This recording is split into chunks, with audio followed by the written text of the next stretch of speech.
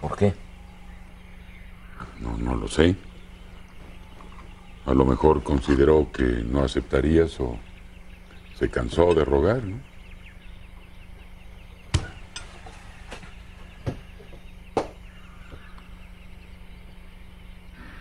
Entonces quiere decir que no le importa tanto como dice. Mejor, ¿no te parece? Lo que tú deseas es que no sufra. Y si ella se resigna y acepta irse, deberías sentirte contento. Lograste lo que querías.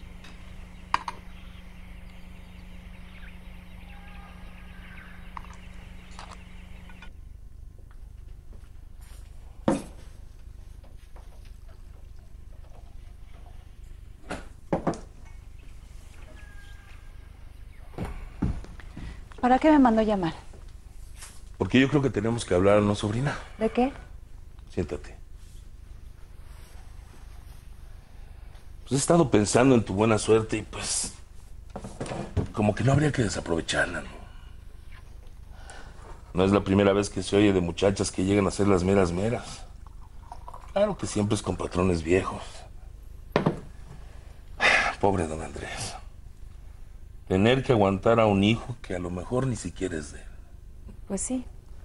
Pero parece que doña Sofía sí piensa que es suyo, porque ella está de acuerdo en que yo... Usted entiende.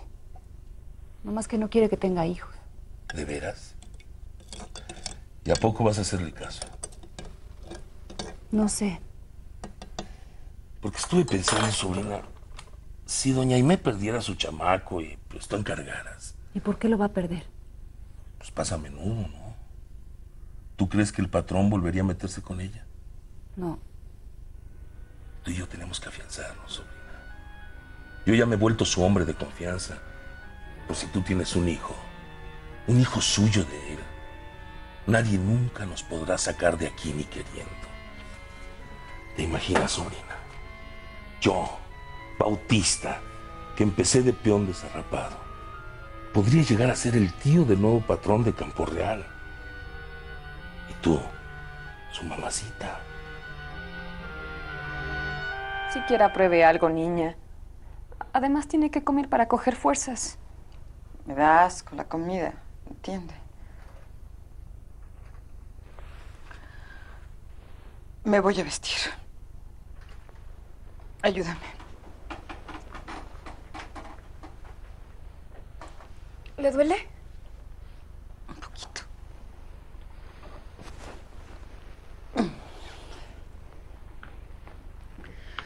Saca el vestido blanco.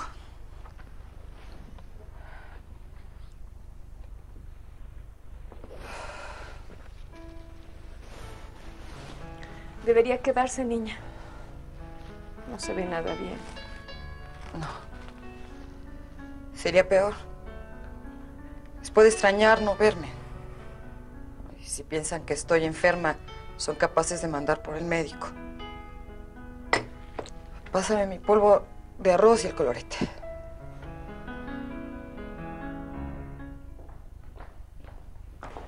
Buenas tardes, prima. Disculpa si estamos abusando. Yo me regreso mañana temprano, madrina.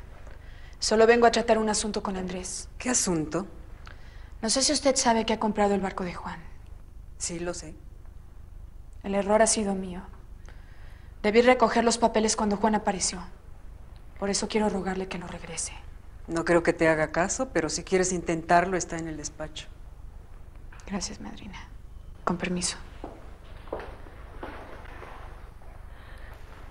Tengo algo muy importante que decirte, prima, pero no quiero que nos escuchen. ¿Qué cosa?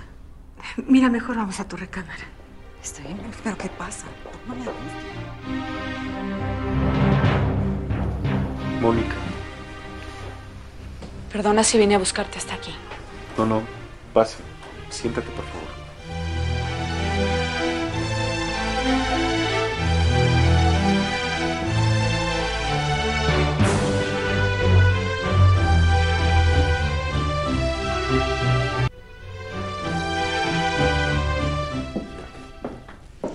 ¿Y vendiste tu casa?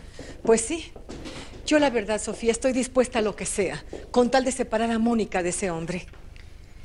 Y dices que la decisión fue de Juan. Sí, hasta que Dios iluminó a ese desdichado. ¿Y si Mónica se rehúsa a ir contigo? Tendrá que hacerlo si no encuentra alojamiento en San Pedro. Por eso quiero pedirte, prima, que si les pide hospedarse en la casa de ustedes, por favor, digan que no. ¿Está bien? ¿Se hundió? Sí. Mónica, por favor, ¿qué importancia tiene un barco? Es que para Juan sí era importante. Fue su trabajo, su vida de años. Nunca me lo perdonará.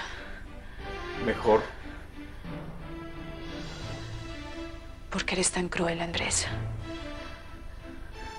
¿Yo qué te he hecho? Nada.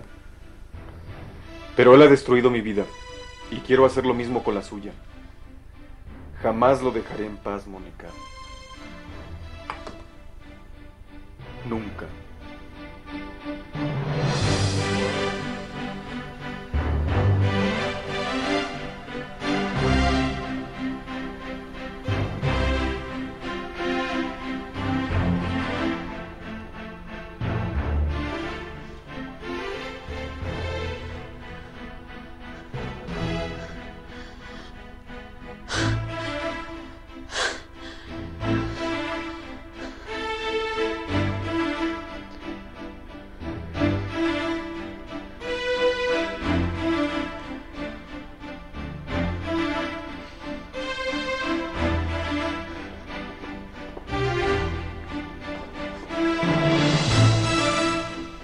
En cuanto Mónica se dé cuenta que nada puede hacer, nos iremos a la capital con mi cuñada Amalia y ahí vamos a buscar alojamiento. Me parece bien. Solo que Mónica no debe saber que es Juan el que compró mi casa. Sofía, por favor, ni ella ni nadie. Tampoco Aimee. ¿Se puede? Sí pasa. Madrina, ¿podría por favor ordenar que alguien me regrese a San Pedro? ¿No ibas a pasar la noche aquí? Ya no. Es que no tienes a dónde ir en San Pedro, hija. La casa ya no es nuestra. ¿Cómo? La vendí.